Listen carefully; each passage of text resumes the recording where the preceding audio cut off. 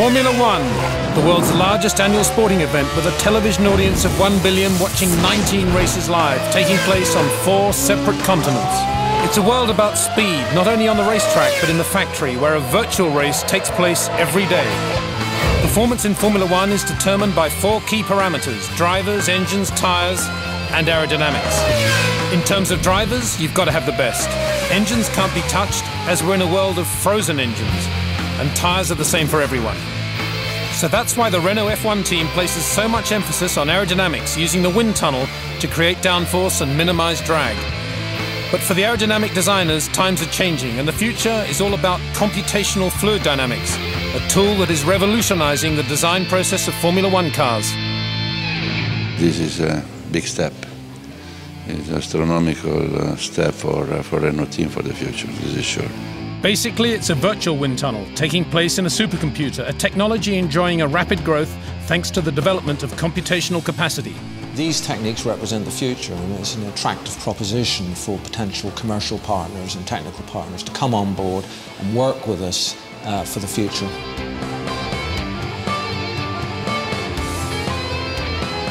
C'est un outil au service de, de, l'équipe, du team ici.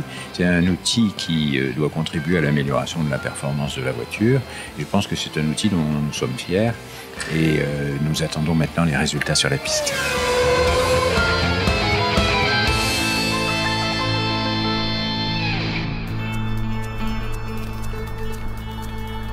In 2007, the Renault F1 team decided to create the CFD Centre, starting a race against the clock. ABM was chosen to implement the construction of the building, which took 267 days from enabling work to practical completion, with constant attention paid to planning and environmental concerns. There was two reasons that we've put the building underground really. One, it's um, a contribution towards to a, a green effect. Um, obviously a building underground maintains a very stable temperature. Uh, secondly, um, we have constraints on planning requirements in this area because we are in the middle of the countryside. Um, so we've decided, based on those two things, to actually dig out a very large hole, maintaining all the soil on site, which obviously saves a huge amount of, of movement of vehicles to take it away from site, and put the structure underground. And we've looked towards this curved concrete precast structure to achieve the results for that. The local authority are very interested in promoting new buildings that are demonstrating clear environmental um, sympathies. Uh, and so we conceived a building that was underground, it's low level, very little visual impact on, on the local uh, countryside. Um, and then it benefits from environmental uh, issues because it's underground. It's very easy to control the temperature, it's very uh, energy efficient, uh, and, and we think that's a good statement that the company is making for the future. 24,000 cubic meters of material was quarried and maintained on site to enclose the 25 sections of modular concrete block surrounded with a damp-proof membrane. This ultimate aerodynamic laboratory is now hidden 1.5 meters below the ground. Reminiscent of a James Bond movie set, the CFD Centre welcomes its engineers into an exhibition hall. To the left are the CFD research offices. To the right is the auditorium where aerodynamicists can discuss, visualize, and share ideas about the results of their simulations. Thanks to the latest technology supplied by Bose and Barco systems, they can display their results from a full-scale 3D car model.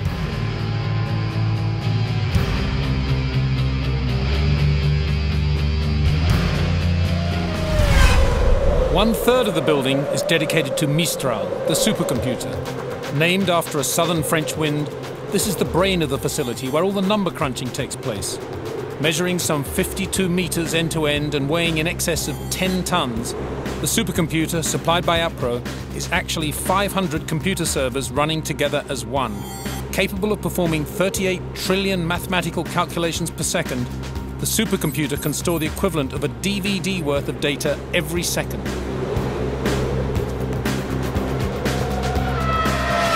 They need more and more power because they need to uh, simulate the, uh, the airflow around the car uh, as accurately as, uh, as they can, as the technology can help them.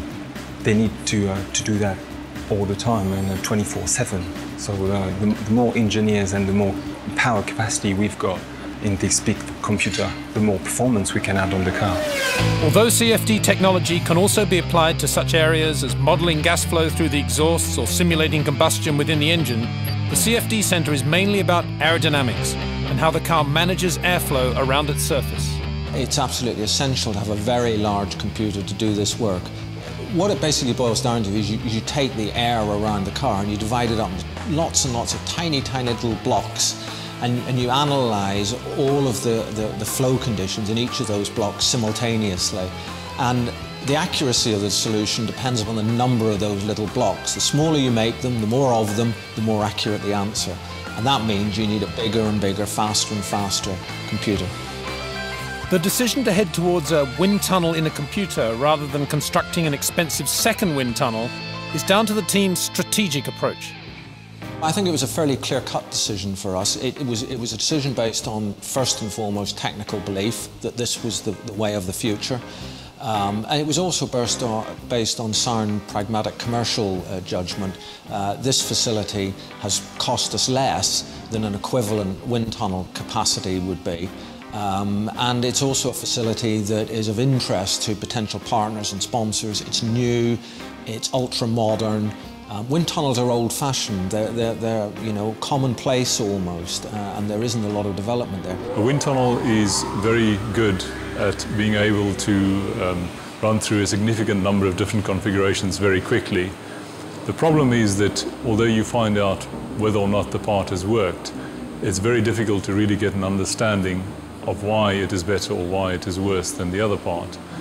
In CFD, the process is slightly slower because the, the modeling is more difficult, but the ultimate result you get gives you a much better understanding of why the part is actually better or worse. So really, the two technologies uh, complement each other and, and don't compete with each other. In 2008, we signed a three-year partnership um, with CD Adapco, and um, as part of this partnership, we can work a lot more closely um, with CD Adapco. Um, we've got um, access to a lot of their um, expertise. CCM Plus is a state-of-the-art CFD code that's relatively new. Um, the code itself is um, fast, it's robust and it's extremely easy to use.